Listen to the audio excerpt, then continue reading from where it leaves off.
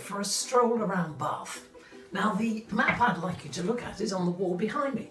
It's actually a map of Bath in 1735 and it's orientated rather differently. So it's orientated east-west rather than north-south. So here is the Abbey, here's the line of the medieval walls around the city. We're going to start our walk at Nelson House, which didn't exist in 1735. It's just green fields.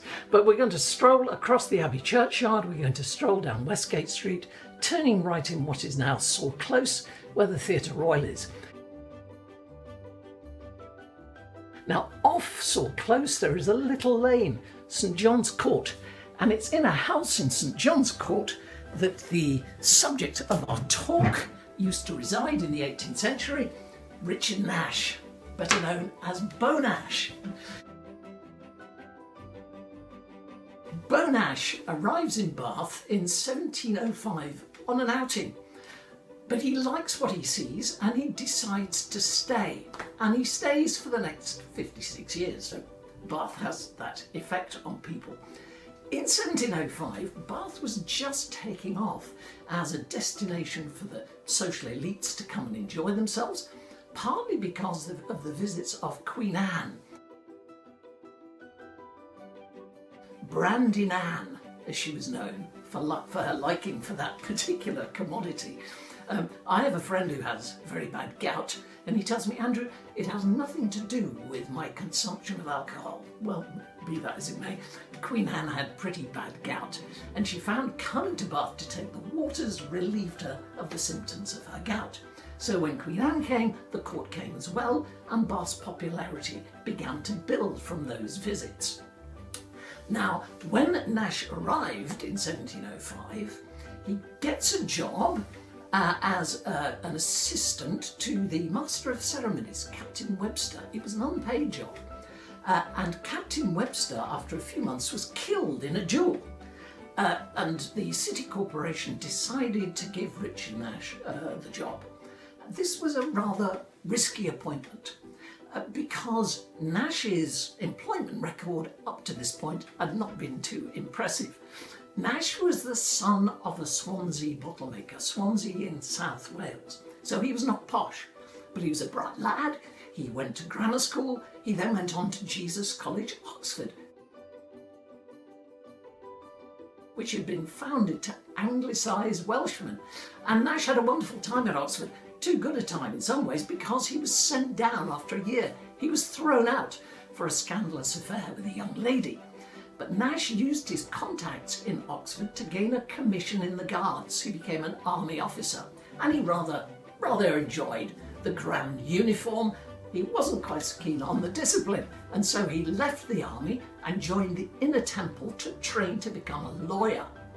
But I think it's fair to say he spent rather more time studying the laws of chance rather than the laws of the land and he becomes a professional gambler. One event, though, whilst he was at the Inner Temple, uh, does give a hint at Nash's future because in 1695 he organised a masque, an entertainment for William III.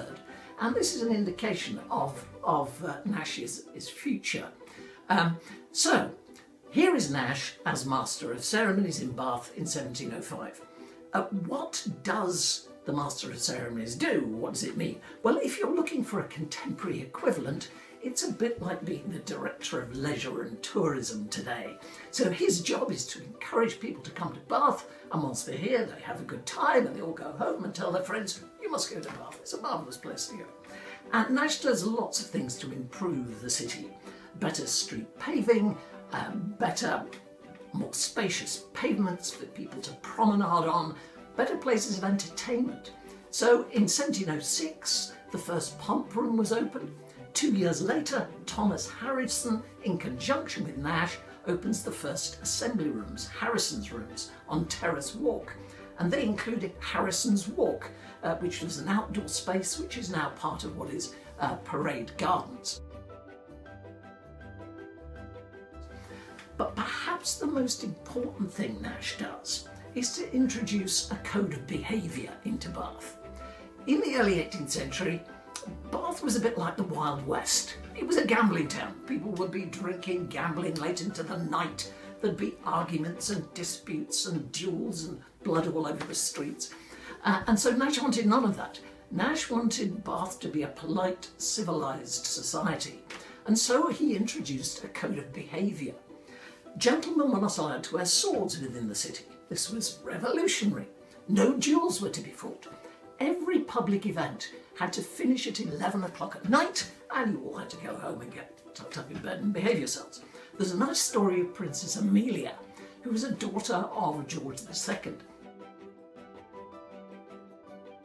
Princess Amelia was a, a bit of a party girl, and she was at a ball, at a dance one night, having a wonderful time. 11 o'clock came, the music stopped, everybody packed up to go home, and Princess Amelia went up to Nash and said, Mr. Nash, I'm having such a wonderful evening, can't the dancing go on a little longer? And so Nash replied, But your grace, you know the rules in Bath. Everything must stop at 11. So Princess Amelia stamped her little royal foot and she said, But Mr. Nash, I'm a royal princess. To which Nash replied, But I, your grace, am the king of Bath. And I think that story actually illustrates what's going on in Bath because here is a daughter to the king being told what to do by the son of a Swansea bottle maker.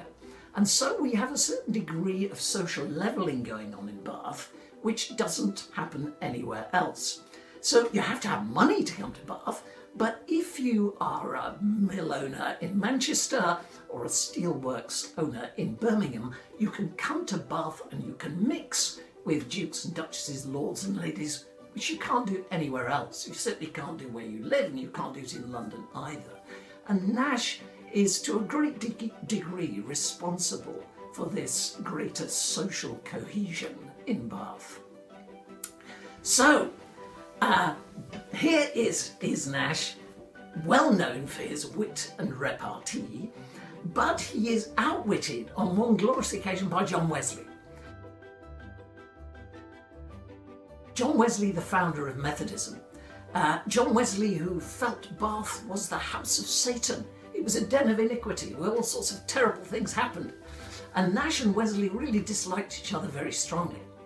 And they met one day on a very crowded pavement, and it was clear one of them was going to have to give way. They were walking towards each other. And so Nash strolled imperiously up to Wesley and said, I never give way to fools. At which point Wesley stepped into the road, bowed, and said, Oh, but I always do. which, which put Nash firmly in his place. Uh, Nash wasn't outwitted on many occasions. Um, but here he is then.